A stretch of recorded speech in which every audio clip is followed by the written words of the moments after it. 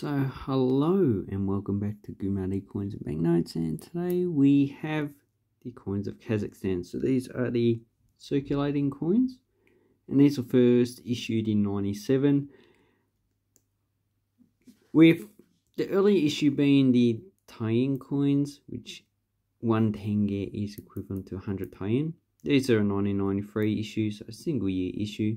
Uh, but they did issue a one tenge in 1992. So you're wondering why I have all these denominations split out here. Well, if you look at these two coins and these two, these two, we have the earlier ones in Cyrillic, so that's the script they use in Russia, and the later ones are in Latin. So that was in 2019 that it changed the alphabet from Cyrillic to Latin. So pretty much it's like um, Azerbaijan, they use the Latin alphabet. Uh, who else? Of the former Soviet states, yeah, Estonia, Latvia, Lithuania, they use the Latin alphabet. And I think Turkmenistan as well, but that I'll need to look up. So slowly these are starting to change the alphabet from Cyrillic to Latin. I don't think Russia would do it, it's too much pride in it. And on these coins, you just have the denomination on one side. On the opposite side, we just have the coat of arms of Kazakhstan. So the only two coins that are interesting in this series is the 100. So this is a bimetal. And it is a copper nickel center with a brass ring.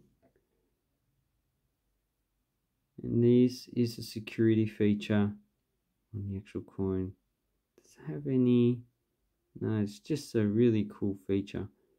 So pity doesn't show up any uh, hidden messages in the actual coin.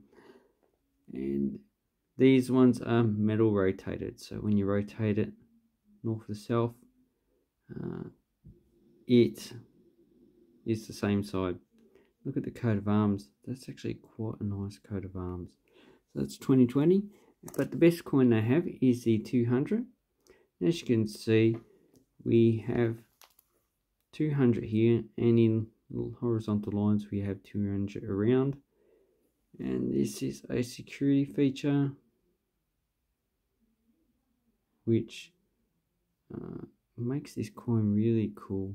I wish Australia produced something like this except for you know boring two dollar coin that we have in circulation.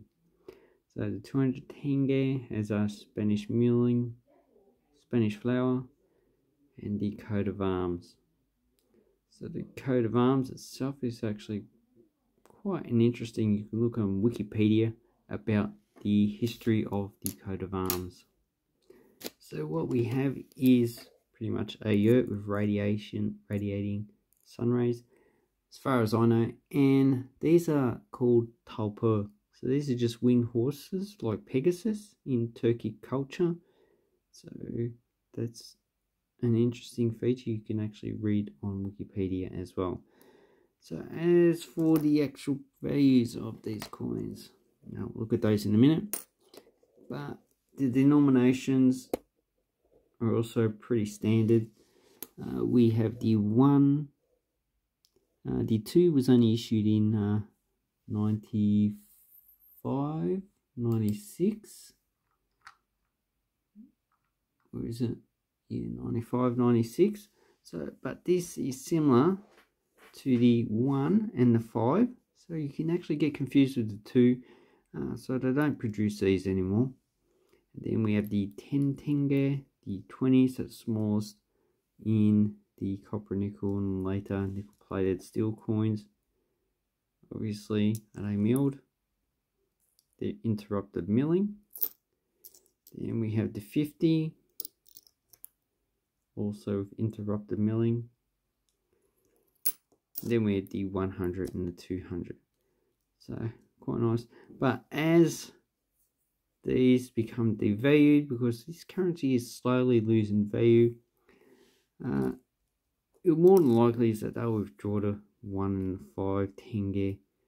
Uh, just have these denominations probably issue high value uh, 500 or 1000 so another thing that we have. We have these commemorative coins. These have a mintage of roughly about a 300,000. So here we have the end of the Second World War coin, 75 years, 2020. And just as the coat of arms. And these are all 100 tenge coins.